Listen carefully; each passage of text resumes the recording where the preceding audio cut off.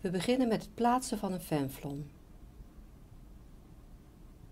Alle apparatuur wordt aangesloten zoals plakkers op de borst en buik om het hartritme in de gaten te houden.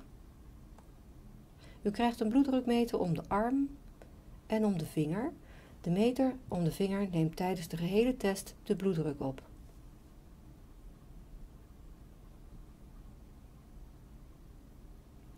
Na 20 minuten rust wordt er via de fanflon bloed afgenomen. De arts zal ook tijdens het onderzoek aanwezig zijn. U wordt vastgemaakt aan de kanteltafel, zodat mocht u flauw vallen, u niet van de tafel afglijdt.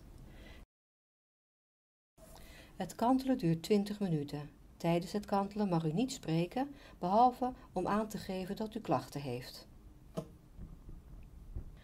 De arts houdt tijdens het onderzoek uw bloeddruk in de gaten.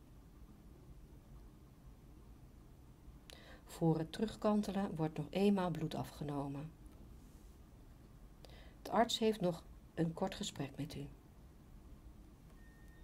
Na het terugkantelen wordt alle apparatuur en fanflon verwijderd en mag u rustig overeind komen.